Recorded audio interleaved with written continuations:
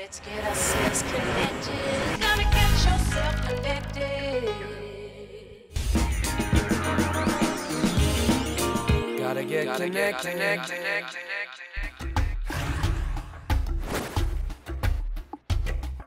On today's how-to segment, I'm going to show you how you can conduct a meeting, whether it's a business proposal or even collaborating with another business associate, and I'm going to show you how you can do it without actually having to go to the meeting in person. We're going to save you time in travel, and we're going to save you money in travel. We're going to do it using a program that I came across called GoToMeeting.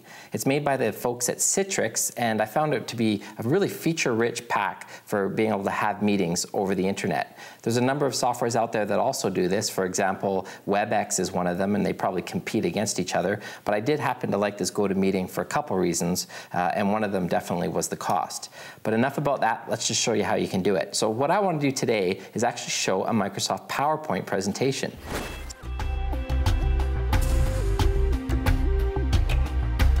Once you install GoToMeeting, it puts this little toolbar in Microsoft Outlook.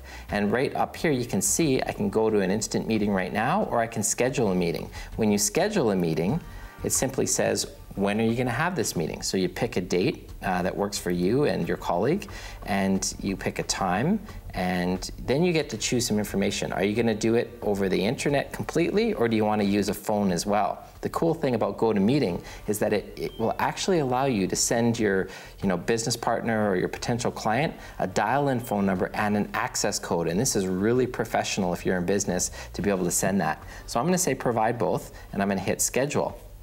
What happens is it immediately creates an Outlook meeting.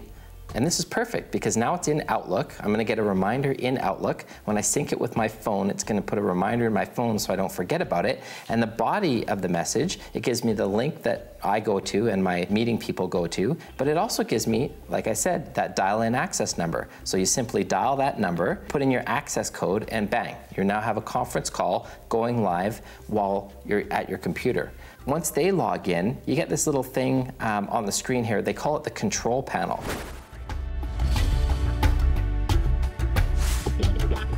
Right off the top, once they've logged in, and you can see here I've got Christine Turner, a colleague of mine, who's, uh, who's also joined this meeting, I can decide what I'm going to show her. And if I click the drop down, I can show her just the screen, so everything that's on my screen. I can also just choose the application. So if I didn't want her to see any of the instant messages that pop up or any of the um, types of things that I might get uh, while we're in the meeting, like uh, emails and whatnot, then I might just want her to see that one application. But I know Christine pretty well and it doesn't matter to me, so I'm going to show her the whole screen.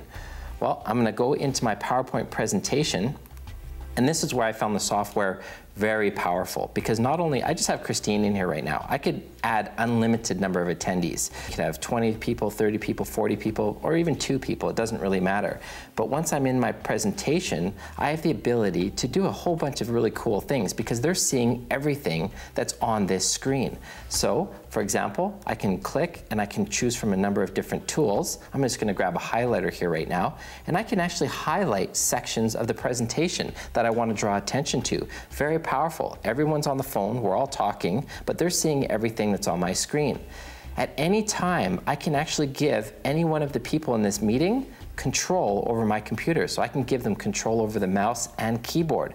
That would allow them either to physically edit parts of my presentation if we were collaborating, or you know, highlight some things that they wanted to point out and bring attention to.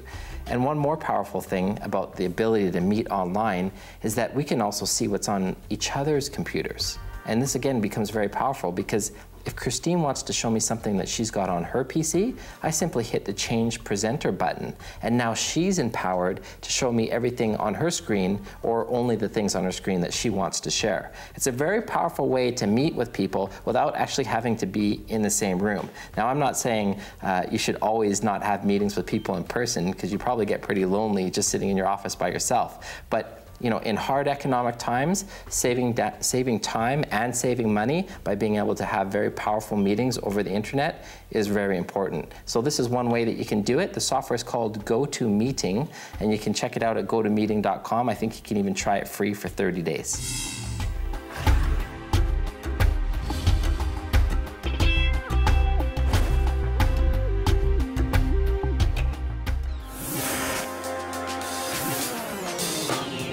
Gotta get connected.